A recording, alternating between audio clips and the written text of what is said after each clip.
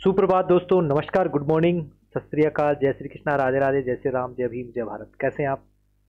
उम्मीद करता हूँ सभी बढ़िया होंगे और चलिए देखते हैं 19 दिसंबर 2023 के करंट अफेयर्स के कुछ क्वेश्चंस जो कि बहुत ही इंपॉर्टेंट होने वाले हैं आग, आ, आगामी एग्जामों के आने वाले एग्जामों के लिए।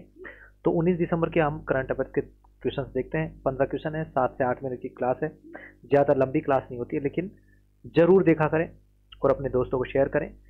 हाल ही में अल्पसंख्यक अधिकार दिवस कब मनाया गया? 18 दिसंबर 16 दिसंबर 17 दिसंबर या सभी दिन दिवस में? तो कब मनाया गया था बताएगा तो ये मनाया गया है 18 दिसंबर को, ठीक है? चलिए अगला क्वेश्चन हाल ही में किसने एम आर एफ़ फार्मूला दो 2000 का ताज़ा अपने नाम किया है? यानी हाल ही में एम आर एफ़ फॉर्मूला 2000 का ताज, ताज़ा नहीं है, ये ताज है माफ़ चाहूँगा, है ना? ताज जो है, यानी ट्रॉफी, किसने अपने नाम की है? मार्को बेन बेचेंजी, संदीप कुमार, चेतन गुप्ता या कोई भी नहीं। तो किसने की है? तो ये संदीप कुमार ने की है अपने नाम।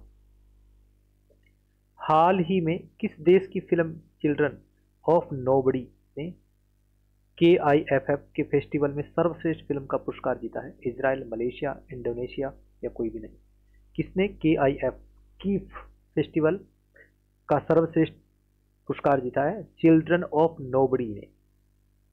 चिल्ड्रन ऑफ़ नोबडी ने किसने जीता है? तो ये इसराइल ने जीता है इसका। पहला ऑप्शन सी हो जाएगा। हाल ही में किसने पहला सीनियर नेशनल स्कूर स्क्रूर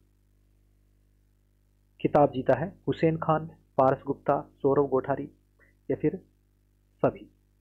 हाल ही में किसने पहला सीनियर नेशनल स्कूर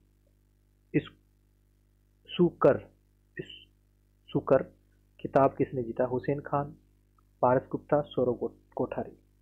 तो किसने जीता है ये? तो सौरभ कोठारी ने जीता है।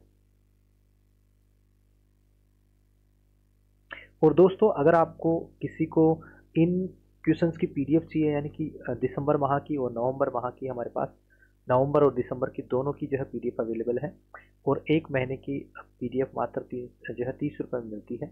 तो अगर आपको लेनी हो तो आप दिए गए नंबर पे आप मुझे व्हाट्सअप या कॉल करके दे सकते हैं। हाल ही में संपन्न खेलो इंडिया पैरा गेम्स 2020 को शीर्ष पर रहा। कौन रहा? उत्तर प्रदेश, हरियाणा, महाराष्ट्र या कोई भी नहीं। कौन रहा? हाल ही में संपन्न खेलो इंडिया पैरा गेम्स 2023 में कौन, जो है, शीर्ष पर, यानी सबसे ज़्यादा खिताब किसने जीते? तो कौन किसने जीते हैं? हरियाणा ने जीते हैं। बी ऑप्शन इसका सही हो जाएगा। हाल ही में किस देश के शासक के निधन के बाद भारत ने एक दिन के राजकीय शोक की घोषणा की? कतर, बहरीन, कुवैत या कोई भी नहीं। तो किसके? कुवैत के शासक के निधन के ऊपर एक दिन का राजकीय शोक हमारे यहाँ पर भारत में रखा गया। हाल ही में उपराष्ट्रपति जगदीप धनखड़ ने कहा, अटल स्वास्थ्य मेले का उद्घाटन किया लखनऊ जयपुर नई दिल्ली कोई भी नहीं। तो कहाँ पर किया है इन्होंने? लखनऊ में। पहला ऑप्शन इसका सही हो जाएगा। अगला क्वेश्चन हाल ही में आई रिपोर्ट के अनुसार वर्ष 2022 में बाघों के हमले से सबसे अधिक मौत कहाँ पर हुई है? मध्य प्रदेश बिहार महाराष्ट्र या ओडिशा? कहाँ पर हुई है? तो बाघ यानी कि शेर जो है उनसे सम, आ, शेर प्रजाति से सबसे ज़्यादा मौतें कहाँ पर हुई हैं? तो महाराष्ट्र में हुई है। सी ऑप्शन इसका सही हो जाएगा। हाल ही में किस एआई ने प्रधानमंत्री मोदी के भाषण का वास्तविक समय में भारतीय भाषा में अनुवाद किया? वाचन ए आई ट्रांसलेट ए आई भाषिनी ए आई या कोई भी नहीं। तो किसने किया है? भाषिनी ए आई ने। हाल ही में टेस्ट क्रिकेट में 500 या उससे अधिक विकेट लेने वाले दुनिया के आठवें गेंदबाज कौन बने हैं? Ravindra Jadeja Adam Zampa Nathan Lyon या कोई भी नहीं। कौन बने हैं? तो नाथन लियोन। नाथन लियोन जो है 500 से अधिक विकेट लेने वाले दुनिया के आठवें गेंदबाज बन चुके हैं। हाल ही में भारत में इसराइल के राजदूत के रूप में किसे नियुक्त किया गया? आर्यन आर्यना रे, रेगर गोपाल बागले सुबीन अजार या कोई नहीं? तो कौन बने हैं? रुवेन अजार। हाल ही में भारतीय वायुसेना ने स्वदेशी समार एयर डिफेंस मिसाइल सिस्टम का सफल परीक्षण कहाँ पर किया है? गुजरात, आंध्र प्रदेश, उत्तर प्रदेश, राजस्थान। तो कहाँ पर किया है इन्होंने? आंध्र प्रदेश में किया है।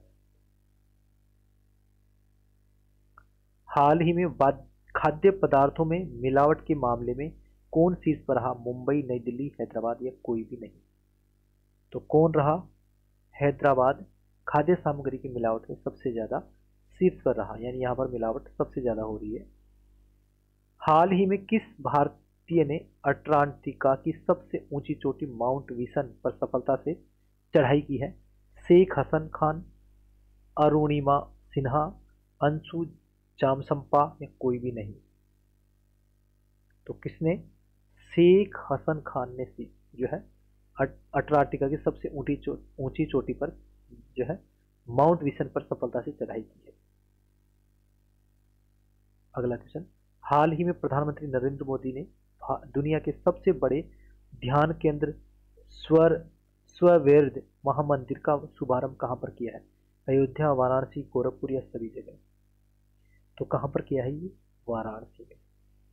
तो दोस्तों ये थे पंद्रह क्वेश्चन उम्मीद करता हूँ कि आपको ये क्लास अच्छी लगी होगी। अगर क्लास अच्छी लगी तो प्लीज़ लाइक कर दीजिएगा शेयर कर दीजिएगा। अगर चैनल पर पहली बार आए तो चैनल को सब्सक्राइब करके बेल आइकन को प्रेस कर लीजिएगा और इसके साथ एक छोटी सी जानकारी और कि हमारी रात को सवा नौ बजे जनरल पेपर की भी क्लासेज होती है, जिसके अंदर मैं हिंदी, इंग्लिश और रीजनिंग सभी regional regional language reasoning ICT सभी के टॉपिक्स में कवर करवाता हूँ। तो अगर आपने ये क्लास नहीं देखी है तो आप हमसे जुड़ सकते हैं लाइव भी जुड़ सकते हैं, रात को सवा नौ बजे। और इसके टॉपिक्स की वीडियोज़ आप जो है टेलीग्राम या यूट्यूब चैनल के ऊपर जाकर के प्ले में देख सकते हैं। तो अभी तक नहीं किया है, आप में से किसी ने भी ई एम आर एस ग्लिटर पेस या फिर B P S C state या एम पी मेन्स एग्ज़ाम या जो है इनकी एग्ज़ाम की किसी की भी तैयारी कर रहे हैं तो जिनमें जनरल पेपर है तो आप आज ही जो है ये क्लास ज्वाइन करें, आपकी बहुत ही फ़ायदेमंद रहेगी। तो दोस्तों, आज के लिए इतना ही।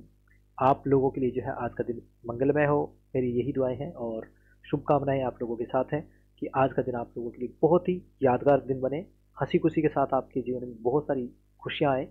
इसी मंगल कामनाओं के साथ आज के लिए इतना ही। मिलते हैं फिर कल इसका नया पार्ट लेकर के, अगला पार्ट लेकर के। तब तक के लिए धन्यवाद। सभी को बाय बाय